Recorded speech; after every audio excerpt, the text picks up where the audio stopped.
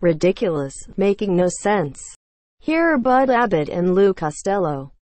Bud's explanation is ridiculous. Well, let's see now. We have on our team, we have who's on first, what's on second, I don't know who's on third. That's what I want to find And out, then- the guy's name. And then, uh-huh. That's what I want to find out, the guy's name. I'm telling you, who's on first, what's on second, I don't know who's on third. Now, Abbott, you Now- want to be the manager of the baseball team? Yes. You know the guy's names? Well, I should. Well, now you tell me the guy's names on the baseball I team. say, who's on first, what's on second, I don't know who's on third. You ain't saying nothing to me yet. Go ahead and tell me.